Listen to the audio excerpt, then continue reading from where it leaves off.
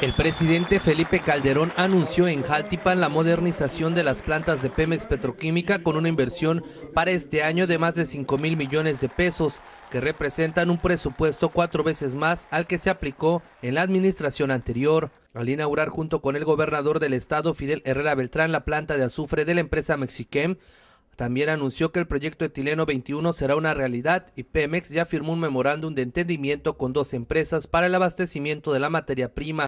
La inversión que se contempla es de 25 mil millones de pesos. Mi presencia aquí me permite refrendar el compromiso del gobierno federal y el compromiso mío, personal, propio, con las veracruzanas y con los veracruzanos.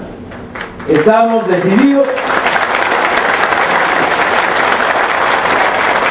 a apoyar el desarrollo de este Estado, en especial de su gente más pobre, a despertar las enormes potencialidades de desarrollo que tiene, entre otros, en la industria petroquímica. Por su parte, el gobernador del estado, Fidel Herrera Beltrán, pidió a Felipe Calderón destinar una mayor inversión para infraestructura carretera y ferroviaria concluir el libramiento portuario y detonar el puerto petrolero de Pajaritos.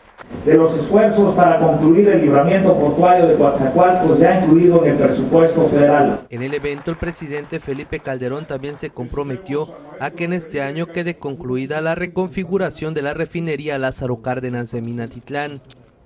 Cabe destacar que con la inauguración de esta planta por parte de la empresa Mexichen, se generan 100 fuentes de empleo directas y 500 indirectas, la inversión asciende a 600 millones de pesos.